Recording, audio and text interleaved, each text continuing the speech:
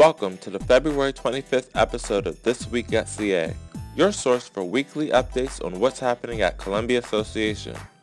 Let's see what CA is up to this week. The CA board has approved the Inner Arbor concept plan for Symphony Woods with an 8 to 2 vote.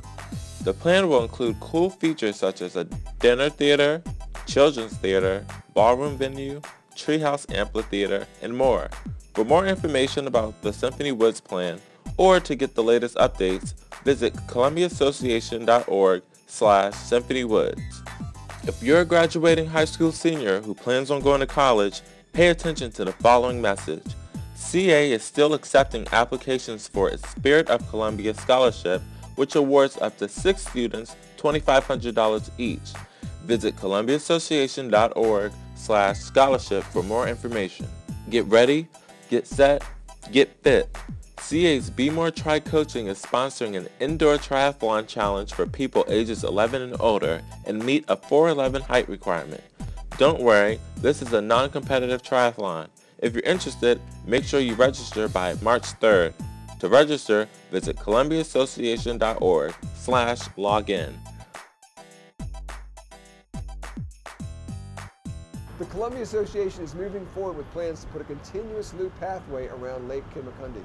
With me today hmm. is Diana Kelly. Diana is the contract administrator for the Columbia Association, and Diana has been working on the feasibility study for the Lake Kittamaqundi path. Diana, it's so good to see you out here today. Nice to see you again, Dennis. Diana, I understand the feasibility study is now complete, and you're, you had a meeting with the Town Center Village Board? Dennis, Columbia Association hired Bayland consultants and designers to perform a feasibility study to look at options of completing the path around Lake Kittamaqundi. They presented those three options to the Town Center Village Board in January, where it was well received. We will be going back again in March to do a follow-up presentation to a wider audience now that the community has had time to digest the options that uh, were presented.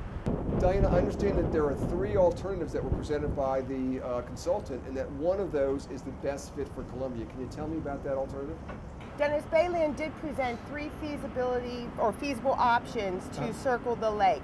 And the one they recommended covers uh, the, the entire lake, circumvents the entire lake.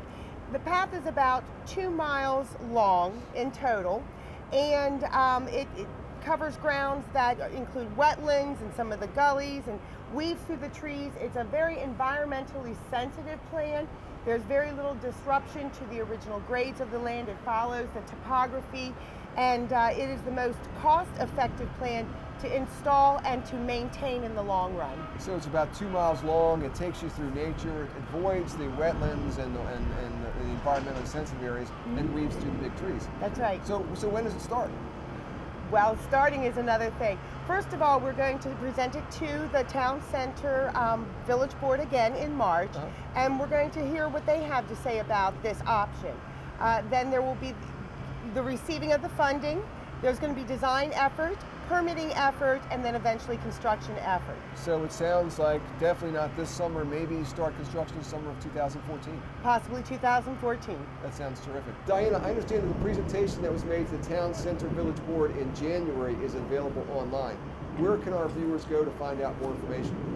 The presentation is on CA's website. It's called the uh, Lake Kittamaqundi Trail Feasibility Study. You can also link through it through the Town Center Village Board website. They have a link there as well.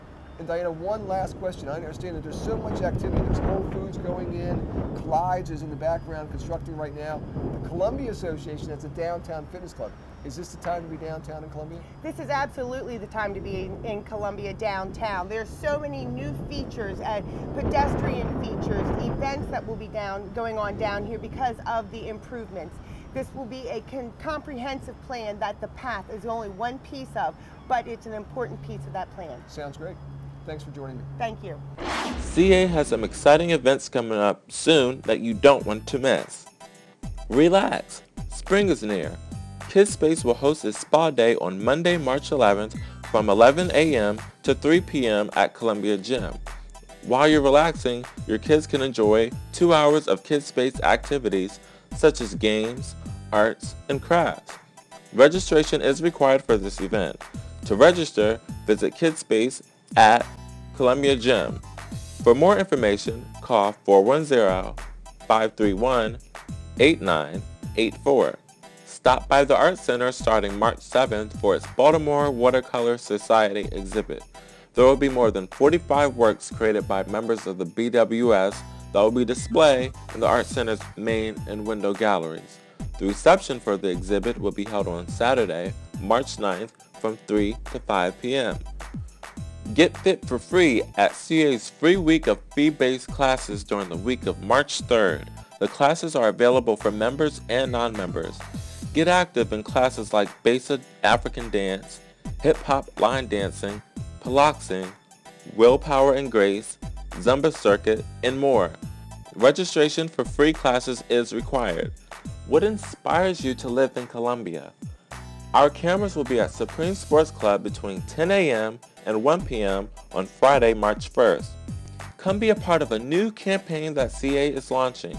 To reserve a time to be filmed or for more information, email mary.weeks at columbiaassociation.org.